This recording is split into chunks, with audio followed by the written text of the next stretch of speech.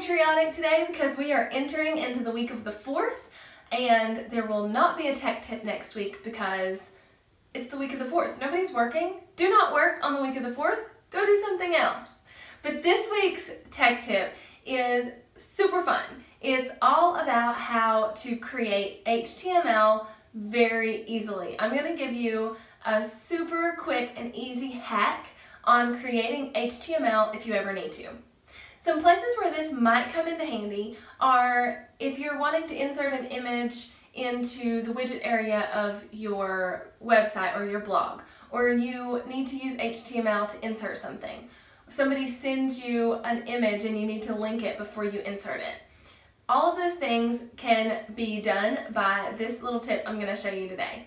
Another thing is that I think that every online business owner needs to have a little bit of a knowledge of how to do these types of things just in case you ever need to.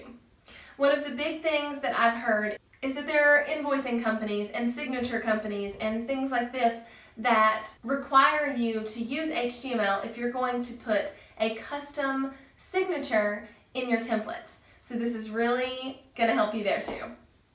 So let's get started and you're going to learn how to make HTML very easily.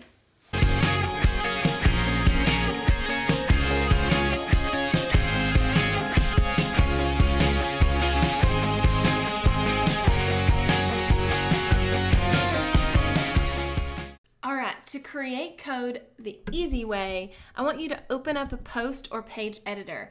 This can be in Wix, Weebly, Squarespace, Blogger, WordPress, whatever platform you're using. Just open up a post or page editor. Okay, once you're in that, you want to make sure you're in the visual tab, just like you would normally write a blog post or edit a page. And you'll want to do whatever you want to do.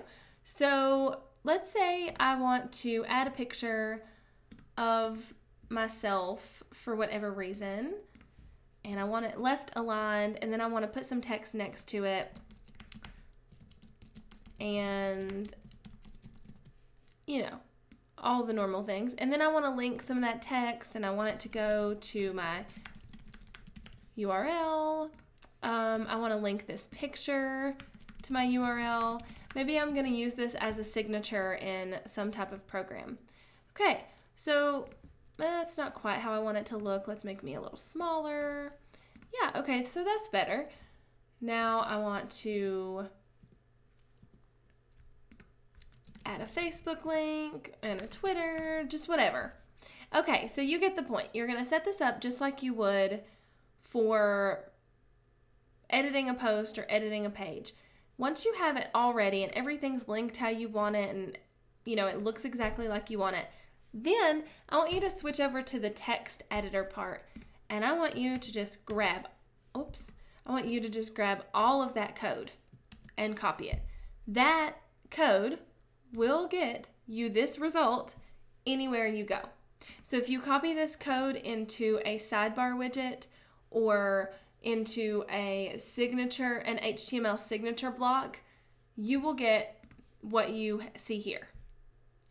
Easy, right? So do it in the visual part, switch over to text and grab the code, and then use it as you need it.